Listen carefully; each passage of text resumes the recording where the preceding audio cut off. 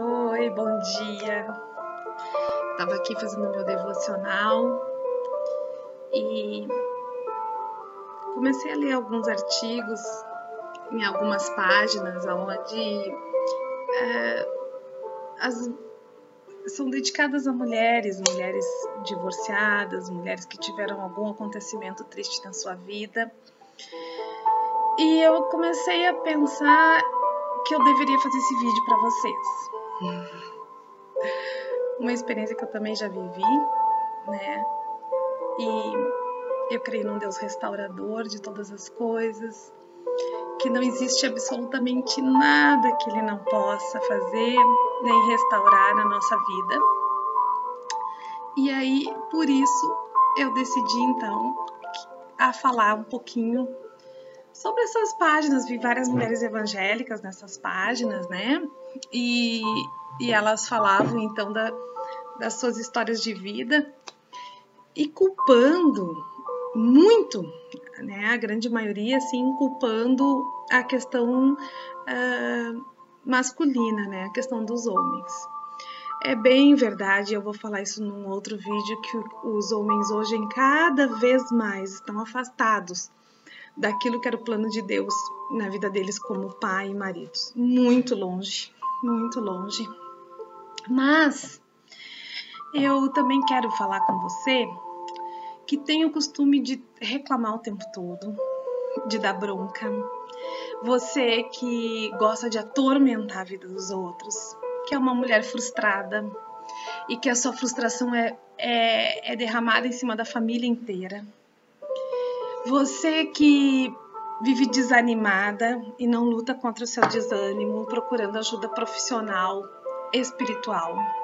Eu quero falar com você que é mal-humorada, que é braba, que vê só o lado ruim de todas as coisas, que nada é bom para você. Uh, você que é uma pessoa que está sempre insatisfeita e você que é uma pessoa irada você é o tipo da mulher que a Bíblia fala que é a mulher rixosa.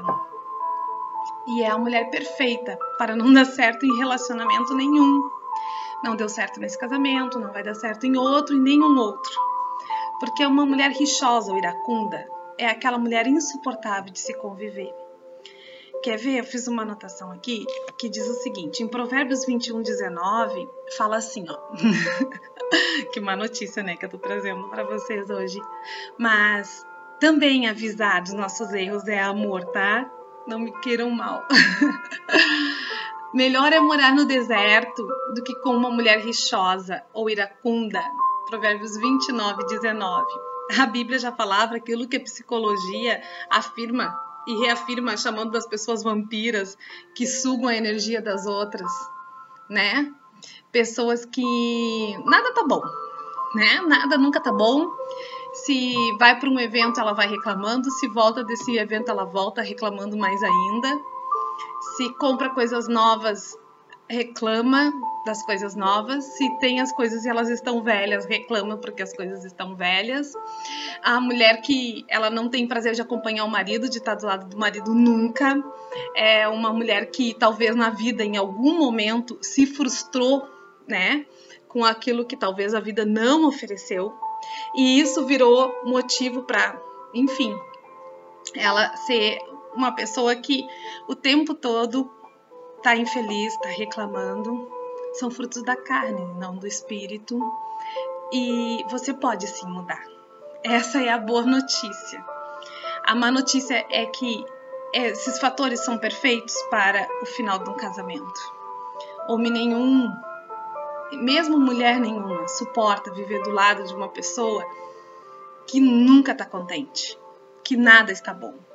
Ora, todas nós temos os nossos momentos de reclamação, todas nós temos os nossos momentos de estar cansadas e estressadas. O problema é viver continuamente assim. O problema é você estar o tempo inteiro assim. E ainda você passar por vítima nesse final de relacionamento. Você não é vítima e sabe que não é vítima. Você sabe que não cumpriu o seu papel, que não foi amante, que não foi namorada, que não foi esposa, que faliu em todas essas situações. Mas existe um novo de Deus, existe um novo dia, existe um, um, novo momento, basta você querer. Você lutar contra a sua personalidade, você lutar contra o seu eu, você lutar contra a sua carne, a sua vontade e ter desejo de mudar, ser uma pessoa melhor, ser amável, ser afável, acolhedora, ser aquela pessoa que o teu marido tem prazer de voltar para casa, que gosta de beijar, que gosta de abraçar, que dá elogios. É tão difícil dar um elogio, ver as coisas boas que o teu companheiro faz. É tão difícil assim? Será que você uh, não consegue em momento nenhum enxergar o lado bonito da vida? Será que num jardim florido, cheio de rosas, você só vê os espinhos que elas têm? Olha mais para as cores, levanta tua cabeça, luta contra essa vontade que você tem de estar reclamando, de estar triste, de não estar bem, de estar falando mal da vida dos outros, de estar fazendo fofoca. Luta contra isso, luta contra essa tristeza que te enclausura dentro de casa porque a vida é muito bonita e ela tem muito mais. E após cada vez que você cair, logo ali você tem como se levantar e começar de novo. O ano está terminando e jamais você vai ter um novo ano com coisas novas, fazendo sempre as mesmas coisas e sendo a mesma pessoa. Inteligente é aquele que percebe os seus erros e muda muda para uma vida mais feliz, muda para uma vida nova, muda, muda. Quando seus amigos não querem mais estar com você, quando seus, seus filhos não têm vontade de estar na tua volta, quando a tua casa está vazia, alguma coisa está errada e não é com todos os outros, é com você. Mas você ainda tem pessoas na sua volta, ainda dá tempo de mudar. E essa é a minha palavra hoje para você, mulher, para você que é resiliente, que passa por várias situações na vida, mas volta com força e retoma com coragem a sua vida. A minha palavra hoje é para você que quer fazer diferente no ano de 2018. Tá bem? Graça e paz de Deus sobre a vida de você. Levanta a tua cabeça, segue em frente, faz diferente.